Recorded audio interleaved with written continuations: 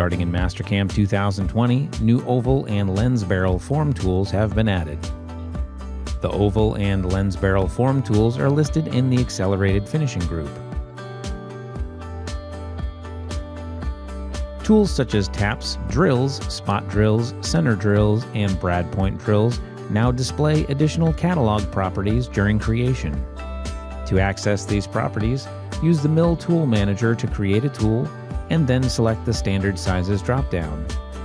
This functionality is also available in the standalone Tool Manager. Starting in Mastercam 2020, the multi-axis drill and circle mill toolpaths have been removed, and multi-axis capabilities have been added to the helix bore, thread mill, 2D drill, and 2D circle mill toolpaths located in the 2D toolpath gallery. The tool axis control page allows you to choose between creating a 3, 4, and 5 axis toolpath.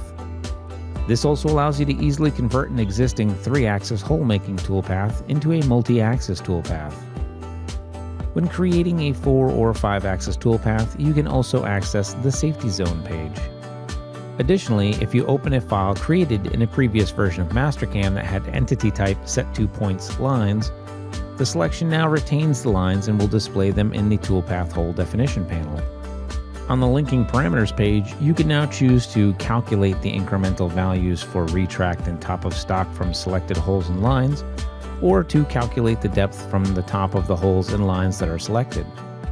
New to Mastercam 2020, Toolpath Hole Definition now supports the selection of solid features and lines in addition to arcs, points, and auto cursor positions.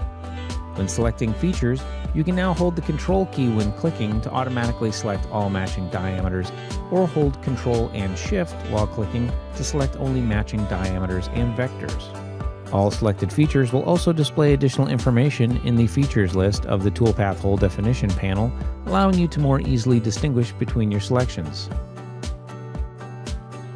In previous versions of Mastercam, you were only allowed to select a single air region per machining region when working with the dynamic and area mill toolpaths. Starting in Mastercam 2020, you are now able to select multiple air regions for each machining region. For more information on enhancements to Mill for Mastercam 2020, be sure to visit what'snew.mastercam.com.